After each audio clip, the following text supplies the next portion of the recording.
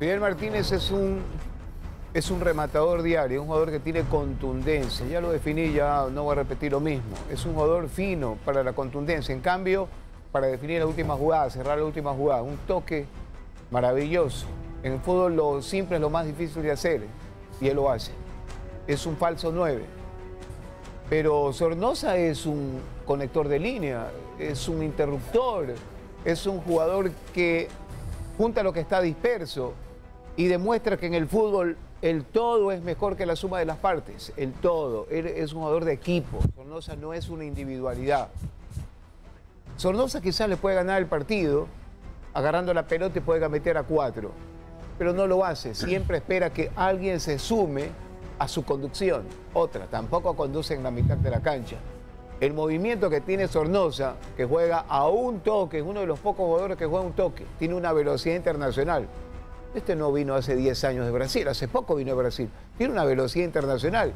No es que se saca la pelota de los pies, por el contrario, construye.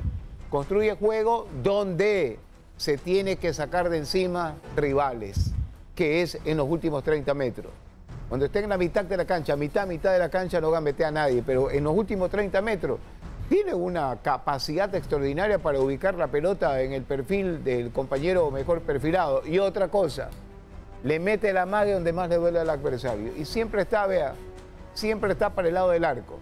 O asiste, si no pregúntele a Díaz las dos asistencias que fue maravillosa, y Angulo también que le dio, asiste de manera fantástica, porque le da la pelota caminando para que usted simplemente sopla el balón para que ingrese es una cosa totalmente distinta. Lo de Sornosa, que es un interruptor, un conector de línea, a Fidel Martínez, que es un finalizador. Correcto.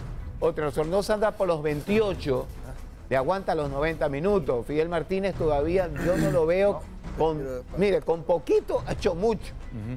Con poquito, o sea, Fidel Martínez debe estar futbolísticamente 40%. Este chico si alcanza el 70%, imagínense la producción, sagacidad, experiencia, perspectiva, intuición. En cambio el otro...